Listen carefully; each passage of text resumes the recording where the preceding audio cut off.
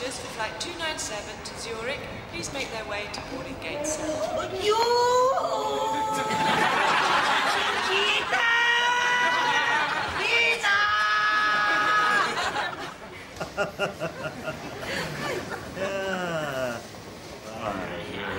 St. John and Vanessa, you frequent flyer.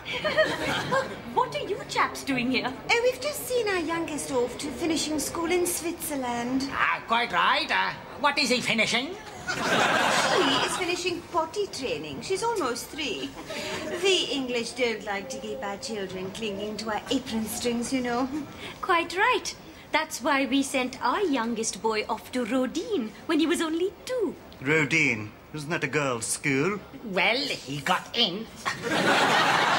So, what are you fellows up to? I'm waiting for my mama ji and papa ji. Oh, what depends. Um, he means his mater and pater.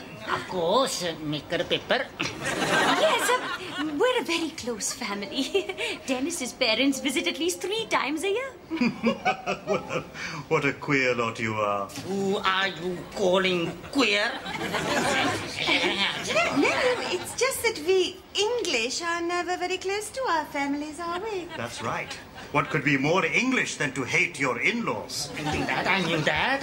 I think that Charlotte mother is a fat cow. and Dennis's father's a right twat. But I would never dream of visiting Vanessa's mother. She's a pig! And she lives in that smelly, horrible little place. Actually, darling, I think she's bought a new house. No, I meant India. Fantastic place, absolutely. So, your parents are coming to stay with you in your house. The extended family. How very ethnic. Not at all. There's nothing ethnic about it. They will be paying full rent. Breakfast not included. Check out by 11. No petting in the shallow end. Tickety-boo with that, are they? Oh, yes. Dennis's parents are as English as, um, as we are.